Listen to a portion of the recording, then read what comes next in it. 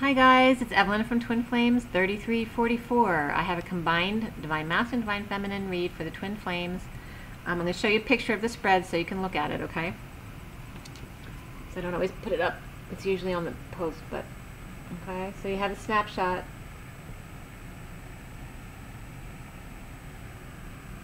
Of all the cards, okay?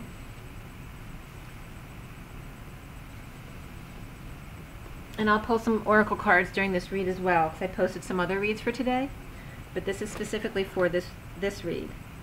Today is August 25th, 2018. It is the 25 of the Knight of Wands, and the day adds up to the 44, which is the Four of Cups. It's about grounding and integrating that boredom feeling, maybe feeling dissatisfied with what you have.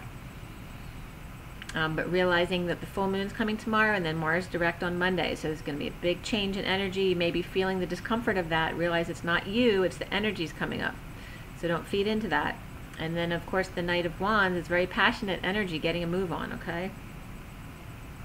So the the read I did for for both the Divine Masculine and Divine Feminine. So take it as it applies to you. Um, for the characters, if it's a feminine energy, it's for feminine energy. If it's a masculine, you know, if it's a king, it's for a masculine energy. Um, I'm not identifying them by their sign.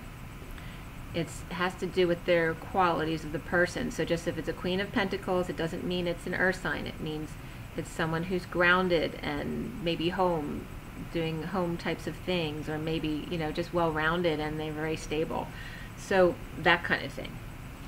Um, uh, I will tell you the major arcana, but I'm not applying the signs of the major arcana to the situation because there's too many of you out there. I mean, it just it gets confusing for people because, for example, if you have the star card, that's considered Aquarius energy, but the Aquarians aren't the only ones who who receive this type of energy. Okay, it's just Aquarian energy of dreams coming true and healing energy. Okay, so it applies to everyone.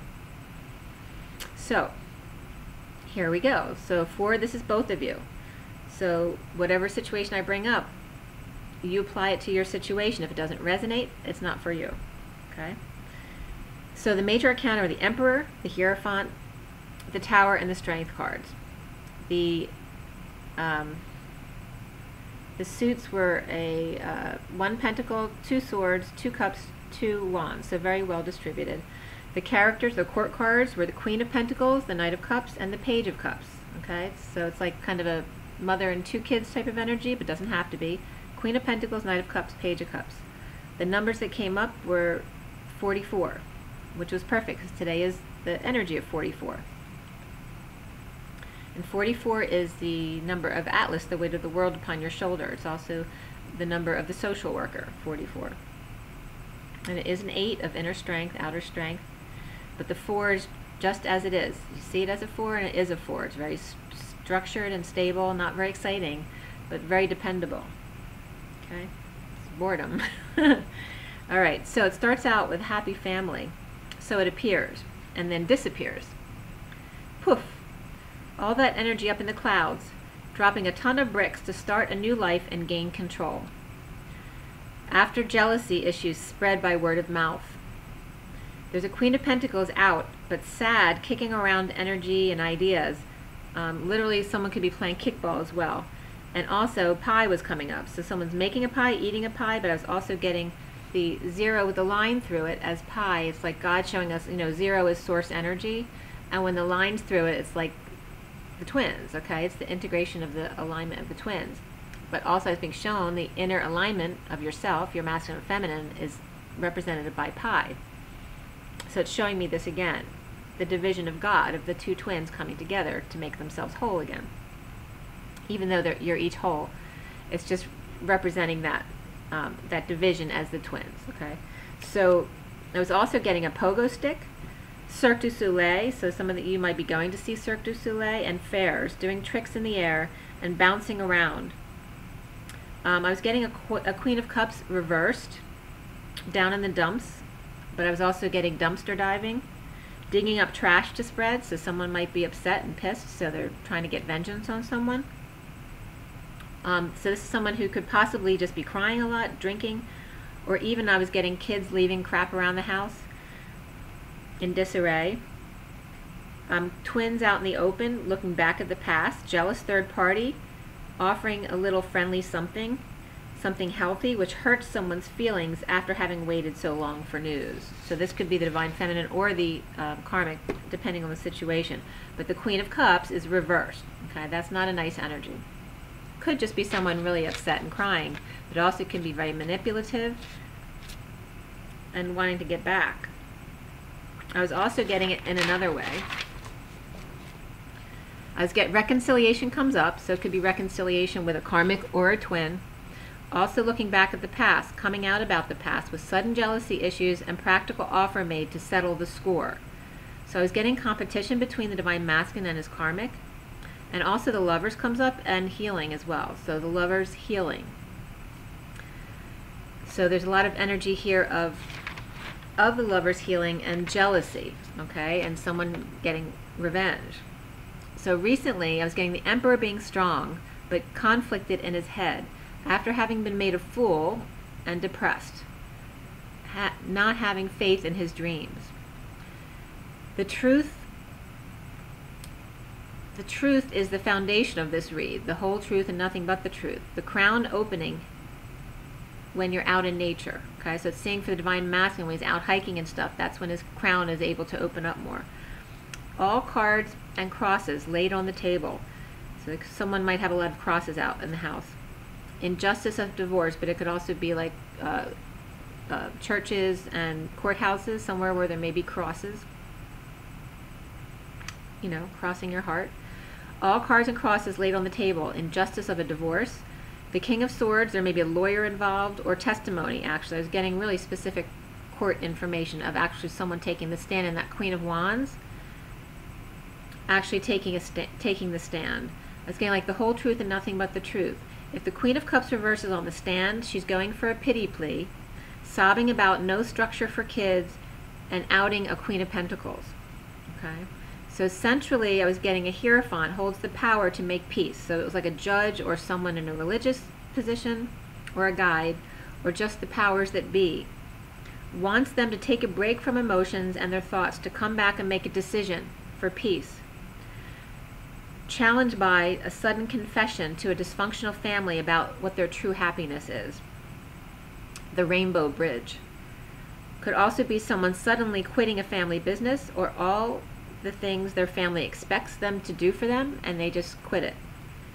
Uh, religious factors definitely coming up. Doesn't have to be about religion. Could just be cultural differences. Could be age difference. Anything like that. Could be, you know, Democrat, Republican, whatever the difference is. Um, also, codependency comes up to release any addictions or codependencies and to keep an open mind about who your twin is. You know, do you really know who they are? And keep an open mind in the way they view things. So now, in the now moment today, the Queen of Pentacles is truthful and calm, seeing things from other perspectives, but still offering love and friendship, despite maybe seeing their differences. Um, brain wars are definitely com- coming up for both parties, the Divine Masculine and Divine Feminine, still in their head about stuff, maybe some new stuff coming up about stuff they didn't think of before. But brain wars is a major theme at this full moon. So don't feed into your brain wars. Soon the Knight of Cups gets clear on what what activities or things make them happy and not to spread themselves too thin. Seeing themselves as a leader, successful, good news, on a journey or coming home from a journey and getting attention, after choosing a path to end pain and betrayal, also could be lower back and sacral pain, without judging, but also deliberating, so not rushing into anything. So around you is a child, a friend or a lover, with true innocent intentions of love. After a bad turn, to learn patience, so that whoever's around you who loves you may have just gone through something difficult in order for them to learn patience. Clear blocks of union, home, bridging gaps, marriage after a bad experience ending and getting closure with the vengeful Queen of Wands reversed. So both on both sides, you need to clear what you've gone through in your divorce or your breakup or your situation, whatever it may be, and don't insinuate that same situation upon your twin. Just because it happened to you in this situation doesn't mean that's what your twin's going to do to you. So you need to get past those blocks of expectations, okay?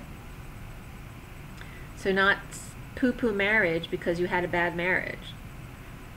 Okay, don't poo-poo union or home or marriage.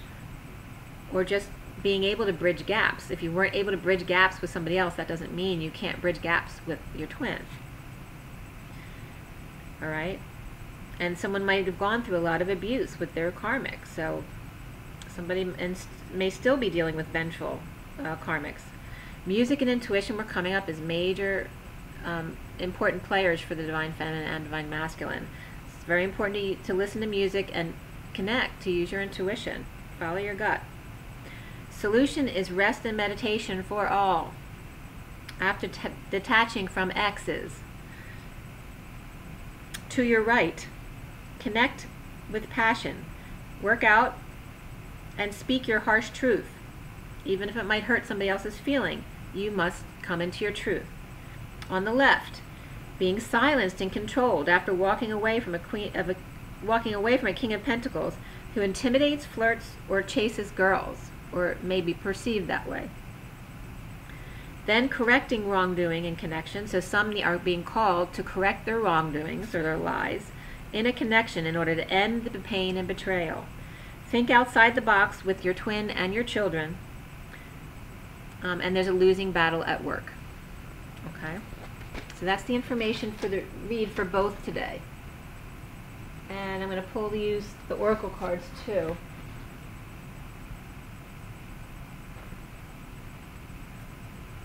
So first is the Ascension deck.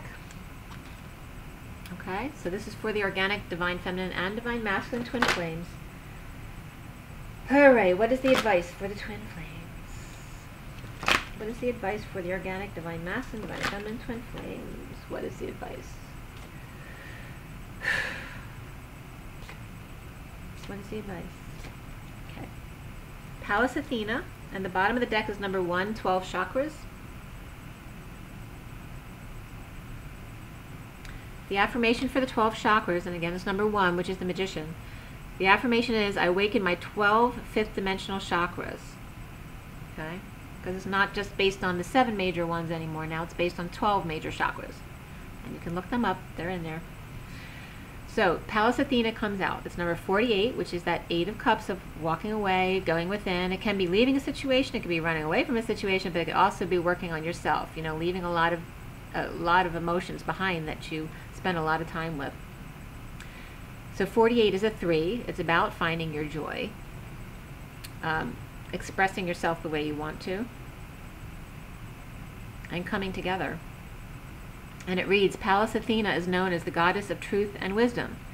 And truth and wisdom, we're coming up big time today with all the court stuff, okay? She is Lord of Karma for the fourth ray. Four is stability. It's been coming up a lot today as well. And holds the sword of truth to show humanity the way. Okay, so today is 44, and 44 came up in the read. Although she wields her sword for the highest ideals and divine truth, she prefers to use wisdom to settle disputes.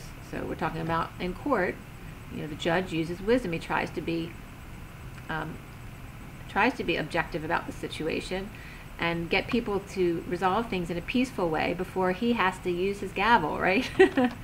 so your gu- your guidance is to follow that example. See the higher perspective in all areas of conflict. Draw on your abundance of wisdom and tact to communicate with everyone concerned and use the sword of truth to point out the divine way forward. The affirmation is, I use the sword of truth to lead the way. Okay? It doesn't matter if someone gets their feelings hurt, as long as you're doing it with as much kindness and tact as you can. It's not your responsibility to resolve their wounds. It's your responsibility to resolve your wounds. All right, so for the uh, past life deck, for the organic, divine masculine, divine feminine, twin flames. Organic, divine masculine, divine feminine, twin flames. What is the advice? What is the advice? What is the advice? Okay, we have High Priest or Priestess and Galactic is at the bottom.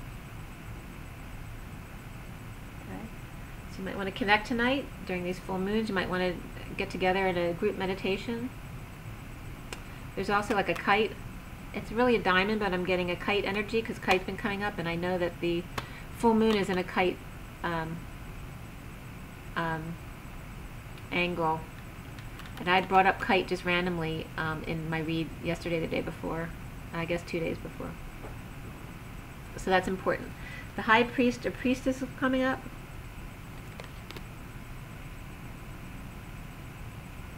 Okay, so a reminder to break all vows. Okay, cut all cords with your past. You cannot break your or cut your cord with your twin. It's it's it's permanent. You guys are attached. You're of the same spirit. You cannot detach yourself from your twin, but you can cut cords to all of those who are no longer for your highest good. Okay? And if you do cut cords accidentally, they're very easily replaced if it's someone you want to connect with. You can always come back to someone that you'd like to connect with, okay? But just you don't want other people's cords feeding off of you if they have ill intent. But just you want to also break vows of the past where you had took a vow of chastity or cel celibacy or whatever it may be. You know, release yourself from all of those prior vows. You don't need to be in silence any longer. You don't need to be celibate any longer. You just need to be your truth. Okay? And here again, it's giving it up to God, which was the energy from the reads today. And then in Journey of Love,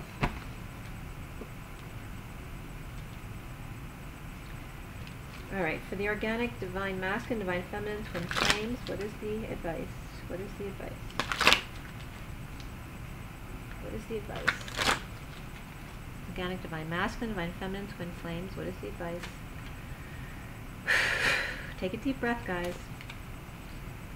And don't forget to breathe. So when you get stressed, it constricts your lungs. Don't forget to breathe. That's part of the connection process. That's why jogging is good because it just it makes you meditative because it opens up your lungs. All right, so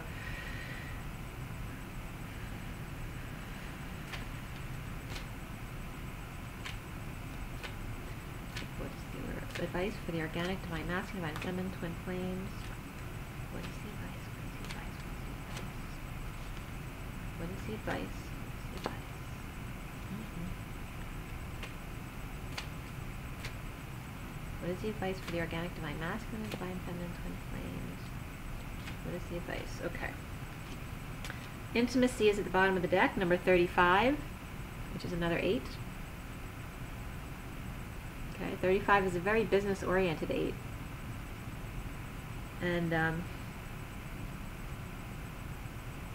it's interesting that a number that's so outwardly business-oriented is described as intimacy. And 8 is, um, of course, of strength, of inner and outer strength. It's of manifestation. Um, it is the infinity. But this 35 is about the 5 of excitement energy, the expansion energy, change energy on the inside. So someone who's very free on the inside, um, but being seen as more social on the outside. And maybe that's the key to intimacy is having an open door policy, you know, communicating everything. So the card that comes out is the bride offers herself. It's number 43.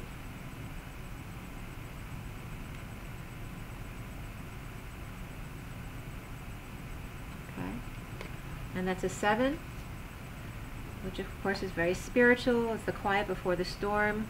And 43 is the three of cups. The three of the joy on the inside and looking very responsible and dependable on the outside, very structured. So three has the joy and the stability, or 43. 43. The bride offers herself. And it says, there is a sacred offering taking place, an offering of the divine feminine. She is offering herself to the mastery unfolding. This may manifest in a physical way, in that a woman of great feminine wisdom is offering herself to you in friendship, love, spiritual companionship, or service in some way. This may manifest in a spiritual gift from the Divine Mother in a form of a life circumstance or situation, whether it's immediately recognized as a gift or not. To accept this offering as a bridegroom accepting his bride with love, reverence, and respect, will bring good fortune. This oracle offers you a message. Accept what is being offered now. Whether through challenge or an easing of the way forward, there is a gift of grace from the divine feminine reaching for you now. Allow her in and be blessed. This oracle also heralds a time of importance in relationship. You have been revealing yourself and not being afraid of who and what you are, sharing yourself and willingness to connect.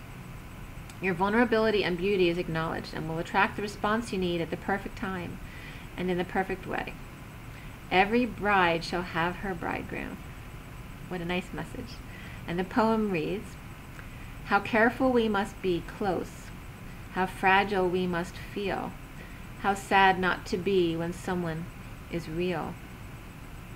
To say approach with caution and spirit connecting when we already know that inside there's a likeliness or a likeness, inside there's a likeness, and experience goes slow.